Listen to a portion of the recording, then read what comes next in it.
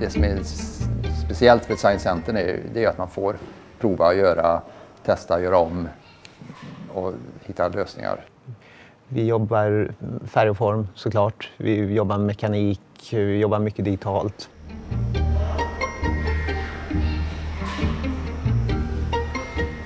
Mycket handlar om att man får göra själv. Att man får eh, testa och prova sig fram på olika sätt.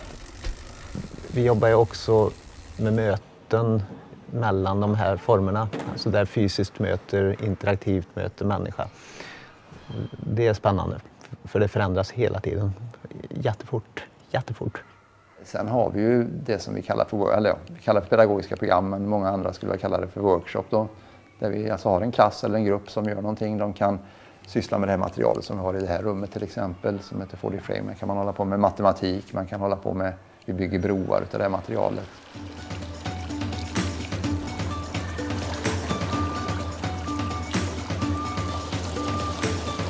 Vi börjar med hållbarhet nu som är en del, en tredjedel av det vi gör. Sen så kommer life science och sen så kommer rymd. Det är roligt att jobba med en mekanisk station. Vi bygger vattenkraftstationer nu som är jättemycket mekanik, lite elektronik, lite löda och, och lite, lite data, lite Raspberries och så här. Eh, det är jätteroligt att göra de stationerna. Vi kan programmera legorobotar av olika, olika åldrar, från de ganska små till de riktigt stora. Då. Det är ju egentligen bara att öka svårighetsgraden. Jag menar, programmering är ett jättetypiskt exempel som är lätt att gå vidare i. Det är bara att ta det, flytta det upp en nivå.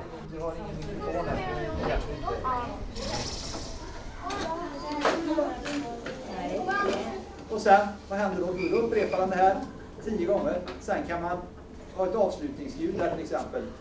För den fortsätter ju, efter att han har gjort det här tio gånger så fortsätter den ut här. Och ser vad står sen. Det vi gör just nu det är att vi förut inte har varit tematiserade i någon högre utsträckning. Vi har, vi har gjort utställningar om industrisamhället kan man säga och industrisamhällets teknologi och teknik har vi jobbat med. Nu tematiserar vi oss så man ska kunna se att, eh, att en utställningsdel handlar om en sak. Det är ju inte, inte en pedagogisk teori utan jag tror på att man ska ha alla de här i bakhuvudet och, och liksom ta ut, plocka ut det bästa vid olika tillfällen. Så. Våra elever har inget skolobligatorium när de kommer hit. Vi måste vara roliga med dem.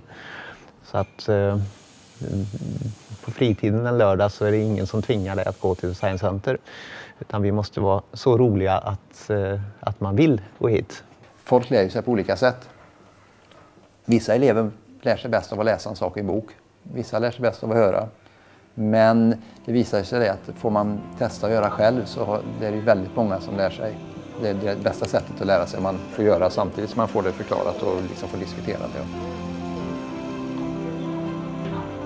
Så tror jag att vi är samhällsförändrande på ett sätt. Att vi ger tilltro, vi, vi, vi skapar möjligheter som inte hade funnits annars.